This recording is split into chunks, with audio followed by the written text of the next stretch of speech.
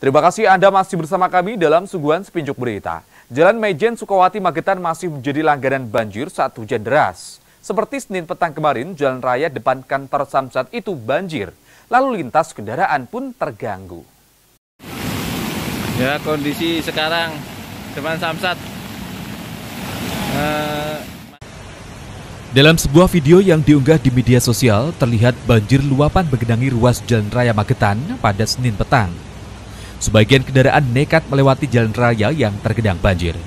Diketahui, banjir terjadi di Jalan Raya Maijen Sukawati, Kelurahan Sukawinangun, Kecamatan Magetan, Kabupaten Magetan, pasca diguyur hujan sejak Senin sore hingga petang. Selain intensitas hujan yang tinggi, drainase yang sempit dan tersumbat sampah menjadi penyebab meluapnya air ke jalan raya depan kantor bersama Samsat tersebut. Pengakuan warga sekitar, Rangga, Jalan Raya Maijen Sukawati selalu langganan banjir saat terjadi hujan deras karena gorong-gorong tak mampu menampung air hujan. Kalau hujannya deras, sini pasti banjir sering sekali.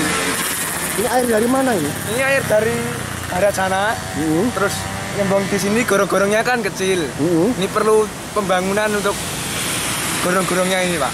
Uh, berarti setiap hujan deras pasti banjir? Iya, pasti, Pak. Hmm.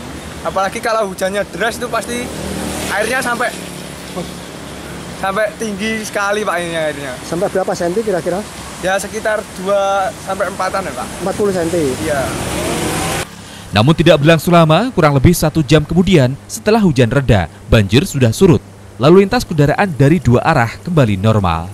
M. Ramsi, CTV, Magetan.